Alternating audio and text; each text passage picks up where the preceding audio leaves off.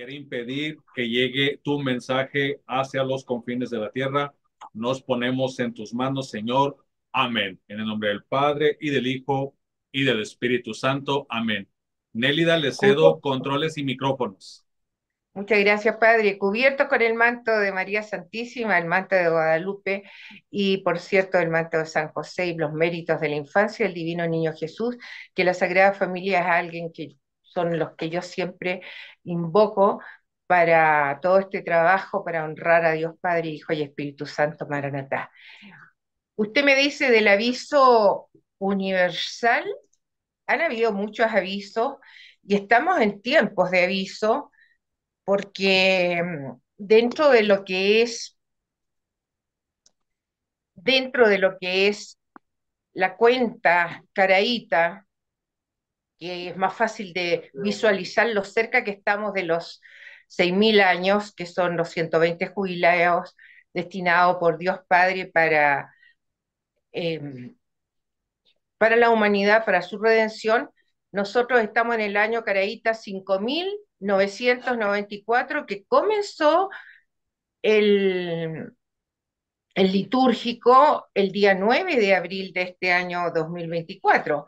Y el próximo año nuevo civil judío 5994, porque Israel tiene cuatro años nuevos, va a ser el 2 de octubre de este año 2024. Y según eso, eh, estamos muy encima realmente.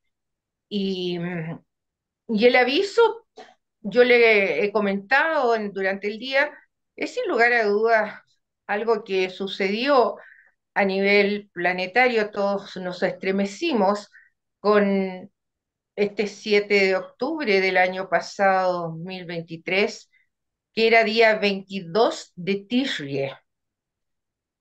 Exactamente era el último día de las fiestas de otoño, que habían terminado el día anterior con la fiesta de tabernáculos, donde todo el pueblo judío eh, celebra durante siete días en chozas, tabernáculos, eh, osucas, que son cabañas eh, de tres lados, como un abrazo del Eterno que los cobijó durante los 40 años en el Éxodo, sino que hay siete frentes que está atacando a la nación de Israel.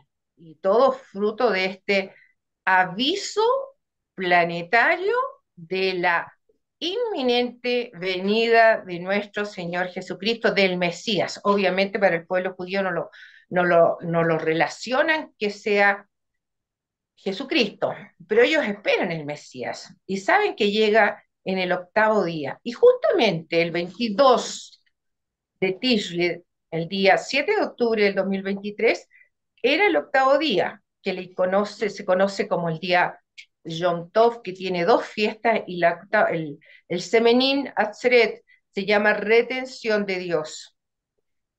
Y la otra fiesta que celebran todo judío es la Semin y que es precisamente la única fiesta que nombra el pueblo judío en todos estos tiempos. Ellos se refieren que ese día, aparte de ser Shabbat, era Semin que es el inicio de las eh, lecturas de la Torá, las porciones, son 54 porciones, que son aproximadamente seis capítulos semanales, y así van dando vuelta todo el año leyendo los cinco primeros libros del Pentateuco. Entonces, eh, es, un, es muy interesante los que siguen eh, la cuenta del tiempo con la palabra de, de la Torá, porque de eso conversan, así se identifican eh, los sucesos importantes que cada uno vive en relación al número de las parashot, que son, como les decía, 54. Entonces, ese fue un aviso planetario, pero en grande para la humanidad toda. Yo siempre lo dije, porque lo sentí así por varios motivos, pero fundamentalmente ese día también, como 7 de octubre, para el mundo católico es muy, pero muy significativo porque fue el triunfo con el poder del Santo Rosario que se venció a los moros musulmanes, que ellos eran una gran escuadra y a punta de rosarios, eh, María Santísima eh, ayudó a que fuera el triunfo para los católicos, porque estaban por perder la guerra, si esa era, un número muy elevado, eh, la flota musulmana. Entonces, también fue un aviso para la iglesia, prácticamente nadie lo ha asociado así, y también para el mundo entero, porque hay una gran cantidad de humanidad que pertenece a otras religiones y muchos incluso que no pertenecen a ninguna. Entonces, esto, este fue un evento de que algo viene grande para la humanidad y lo estamos viendo.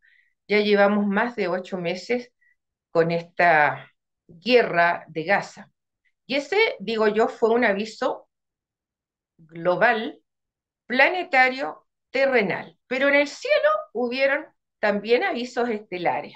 Y fueron por todos conocidos ya los avisos estelares de los tres últimos eclipses que se consideraron y se vio que formaron la letra Aleph y Tau. Entonces eso es impresionante porque eh, de pleno, de pleno, el cielo, el eterno, eh, dejó que las, las trayectorias de estos tres eclipses desde 2017, el 21 de agosto del 2017, que era año centenario de Fátima, junto con el del 14 de octubre del año pasado, 2023, exactamente a una semana del, del aviso para todos, sucede eh, otro eclipse y la umbra del último eclipse solar total que fue el 8 de abril, este fue, estos tres eclipses formaron el Aleftao y bueno, hubieron una cantidad de otros signos como eh, que cruzaban ciudades que se llamaban Nínive. Eh, mire, hubieron, yo hice varios eh, videos al respecto. Fue un aviso estelar porque fue el día último de el último mes del calendario del Eterno, mes Adar, y era el mes añadido, porque cada cuatro años el pueblo judío tiene una, una recuperación de tiempo añadiendo un mes, y precisamente es Adar. Y ese mes, el año, el año pasado, o sea, el eclipse fue exactamente, el, terminó el año el día 7 de abril. Ya el día siguiente era el eclipse. Entonces, eso marcó también, pero bueno, hay que dominar eso, conocer la cuenta del tiempo, si no pasa desapercibido para la gran mayoría. Pero algo que siento que es sumamente rescatable es esto de las fiestas de la Atseminat Seret, la retención de Dios, porque esa fiesta con su nombre está indicando para el pueblo judío nada menos que la semana 70 de Daniel, que entra en juicio, en redención con la semana 70 de Daniel y hay un signo visible eh, para el mundo, conocer cuándo se inicia, porque ese es el otro. En el mundo hay una cantidad de personas que se dicen entendidas en el Apocalipsis y les da con que ya empezamos, que vamos en la mitad de la semana 70. Y yo les pregunto, ¿y a dónde está el anticristo? ¿Y a dónde está el tercer templo? Porque son estos dos eventos sumamente importantes. La aparición del anticristo que va a firmar el pacto entre muchos de Daniel 9:27. Y este pacto es para poner fin al conflicto actual que todos vemos que hay en, Em, en, el Medio Oriente y, y está muy próximo y ya en, en agenda de que sea la solución de los dos estados. Una propuesta que astutamente tomó Emmanuel Macron, el actual presidente de, de, Francia, por, basado en el acuerdo de Oslo, que este acuerdo de Oslo habla de estos dos eh, de esta solución con dos, eh, dos estados, el Estado palestino y el Estado actual de Israel, pero para ello eh, tendría que Israel entregar parte de Jerusalén, la ciudad de Dios. Y eso es lo que va a pasar, porque eso está por escrito, en que eh, se va a traicionar el, el pacto siempre eterno de que esa tierra le pertenece a Israel desde siempre. Entonces, y más encima Jerusalén la compró el rey David. No fue así que la compró, la pagó. Entonces, todo eso está en las escrituras, pero la gente que no conoce la Biblia, no la ha estudiado, no sabe de que esto tiene un respaldo eh, en las Sagradas Escrituras, Padre. Y que en el día 7 de octubre sea exactamente también para los católicos, eh, conmemoramos el triunfo ante los la guerra de Lepanto y cómo el poder del Santo Rosario nos avisa el cielo qué tan poderosos son estas oraciones eh, del Rosario, porque muchos dicen, ah, pero es pura repetición, pero es que no son repeticiones de cualquier oración, son las del Padre Nuestro, las del Ave María y las del Gloria, que está el Gloria en Apocalipsis 1.6. Y las otras dos también están en, la, en, el, Evangelio, es bien digo, en el Nuevo Testamento. Entonces hay un desconocimiento de saber que más encima los misterios que se analizan, que hoy día son 50, porque se incluyeron los misterios de la luz, son 20 misterios que nos dan una visión de esta maravilla que es eh, el Evangelio condensado, meditando los misterios de gozo, los misterios de la luz, los misterios de los misterios de dolor y por último los misterios de, de, gloria, que son el triunfo ante tanta adversidad, Padre. Entonces, rescatar esto quien no lo conoce y ojalá todos los que conozcan a familia, a gente judía, le compartan la importancia de que sepan que este año, 7 de octubre del 2024, es día 6 de Tishri, ¿Qué significa eso? Lo que siempre Auxilio Vida ha dicho, el día 6 de octubre corresponde a la aparición del primer jinete de los cuatro jinetes del Apocalipsis, que viene con un arco sin flecha, y que eso denota al anticristo, que eso es otra eh, rectificación que hay que hacer porque muchos siguen al padre Castellani, un excelente escatólogo. Yo no lo he leído nunca, pero sí sé que es muy reconocido. Pero para mí fue algo sorprendente cuando escucho a uno de sus seguidores que habla de que, según el padre Castellani, el jinete del caballo blanco en Apocalipsis 6, 1, 2 es Jesucristo. Eso es un error espantoso, porque imagínese la cantidad de gente que sigue al padre Castellani con todo su trabajo valioso y yo, no, yo estoy solamente dándolo a conocer, porque es un error de arrastre y que él cometió porque se basó en estudios de otros que también lo hicieron con estudios de, de, de San Irineo. Entonces, que es un padre de la iglesia. Entonces, hay muchos errores en los estudios de las escrituras por personas que se basan en estudios de otros muy catalogados o bien catalogados, pero que han cometido estos errores, como le digo, este es el de los mayores. Yo quedé impresionada que nadie se hubiera dado cuenta de este error de arrastre. Decir que Apocalipsis 6, 1, 2, el primer a la apertura del primer sello que los abre Jesucristo, porque el único que puede abrir son los sellos. Entonces, yo creo que es una, una rectificación sumamente importante de decirle a todos que no ha empezado nada, pero nada del Apocalipsis. Nosotros estamos en tiempos pretribulacionales. Aparece este hombre, el anticristo, que se está postulando para ser el gobernante mundial del nuevo orden mundial del, que lo va a elegir Naciones Unidas. Y son ellos los que en este momento están solicitando y han reconocido a Palestina como nación. Y no teniendo, imagínense cómo, cómo estamos en un mundo tan equivocado en base a, a todo lo que ha sucedido en estos ocho meses, que yo quisiera que cada uno se pusiera a pensar si les gustaría que entraran a sus casas a violar a, las mujeres, mujeres y hombres, ¿ah? y maltratar a los niños, degollar a los bebés, y todo lo que hicieron estos criminales, porque estaban más encima muchos drogados, les pillaron drogas en, en sus uniformes, en sus vestiduras, vestimentas, porque tampoco usan uniformes.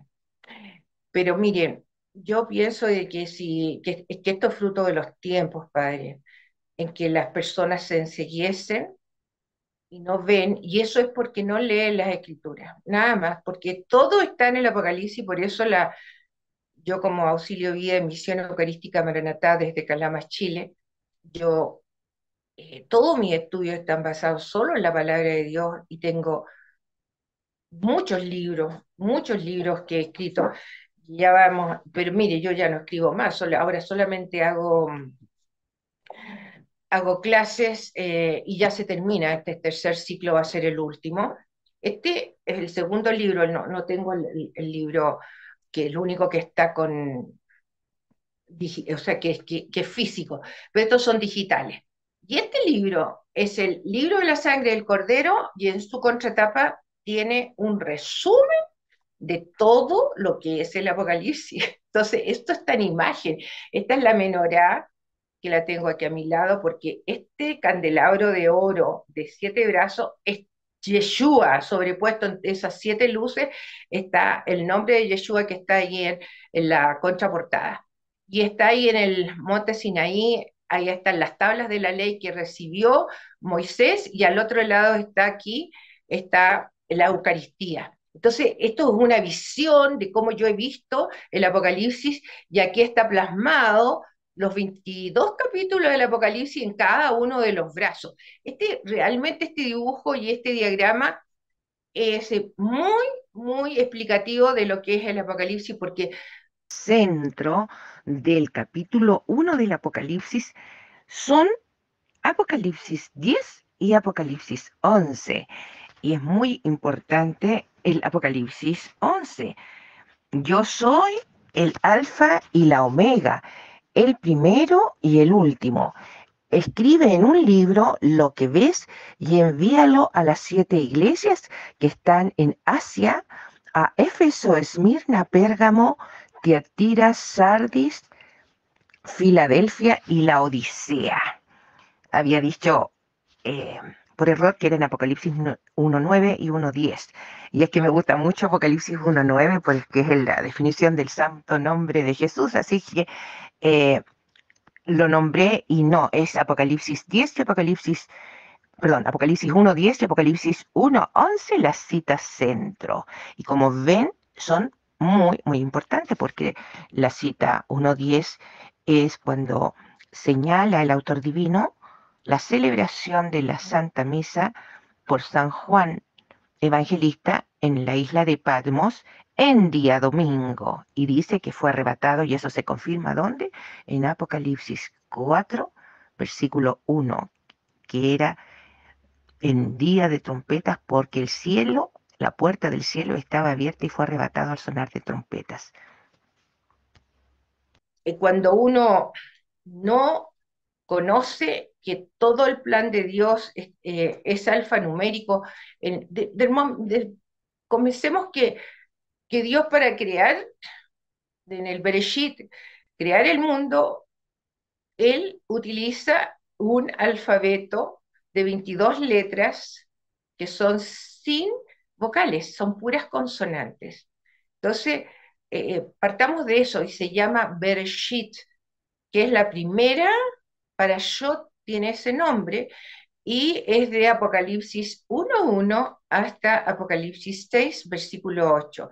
Los invito a que lo degusten, que sepan por qué ese día 22 de Tishri, el 7 de octubre del año pasado, Dios eligió ese día, 22 de Tishri, día donde se celebran dos fiestas que el pueblo judío la celebra siempre, pero la Seminin Atzeret la utilizan para rezar por sus antepasados, porque ellos creen en la resurrección de los muertos, pero no la asocian para nada con la semana 70 de Daniel, porque el profeta Daniel no es muy leído por el pueblo judíos en general no le creen porque es muy exacto y porque escribió en tres idiomas. Pero me alargaría mucho explicando eso. Entonces, decirles que es la razón por la que el pueblo judío ni idea sabe de esa semana pendiente que tienen para su redención. Y entonces Dios no encontró nada mejor que dejárselas indicadas en el nombre. Semenín Atzeret, la retención en el octavo, porque el día 22 de Tishri es el octavo día, porque la, fiesta de tabernáculos tiene siete días. Voy a buscar acá el cuadro 1 para explicarles. Eh, miren, es tan extraordinario que yo estoy cierta que personas, judíos con mm, mente abierta, van a comprender que realmente lo que estoy diciendo es algo muy revelador, muy importante para el pueblo eh, judío, porque ellos sí van a entender que nunca han entendido por qué la Semenina Tzeret, esas, esos siete años del gobierno del anticristo, que Israel más encima va a reconocerlo como su Mesías tan añorado, tan esperado.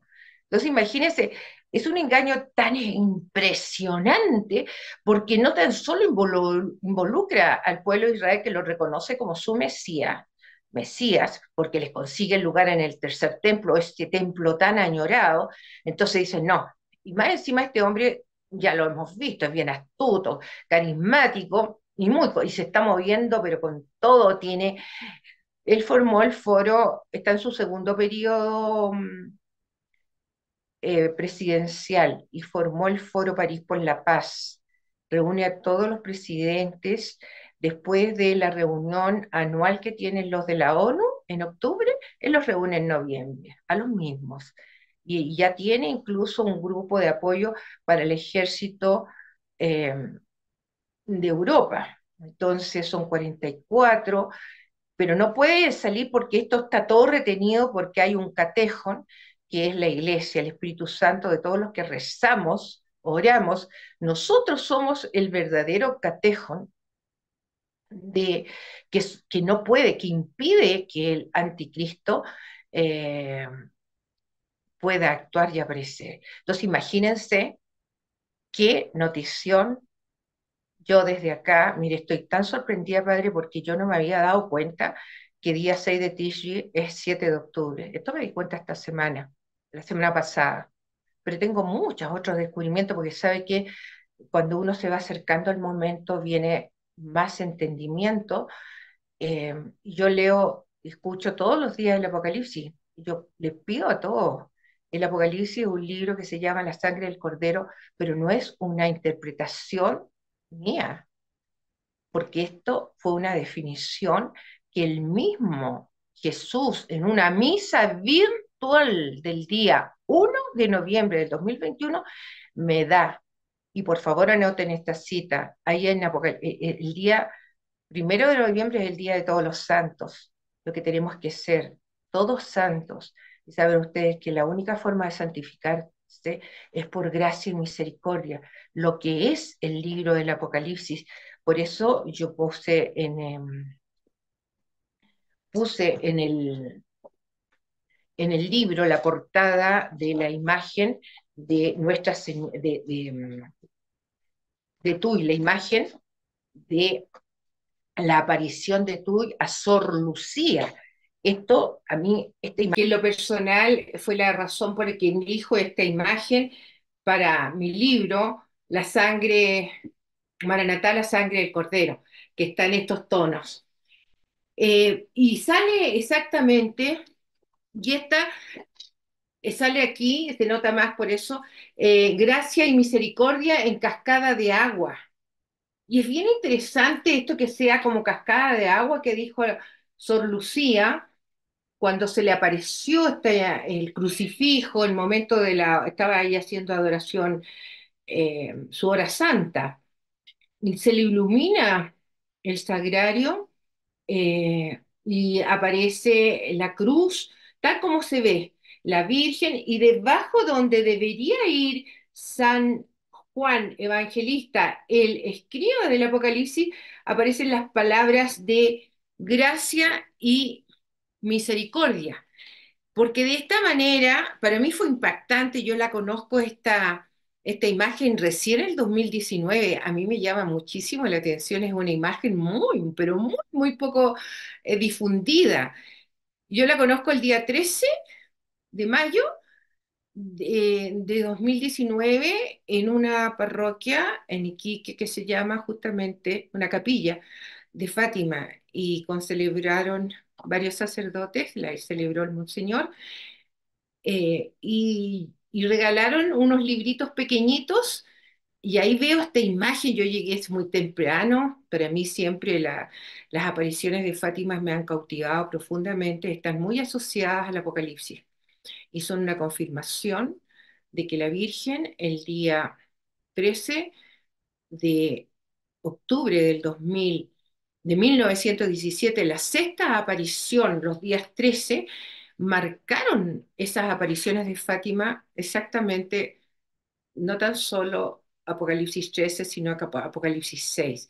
Fíjese, padre, que nunca nadie ha asociado que el famoso evento que se conoce como el milagro del sol no es otra cosa que una catequesis física y visual. Física porque las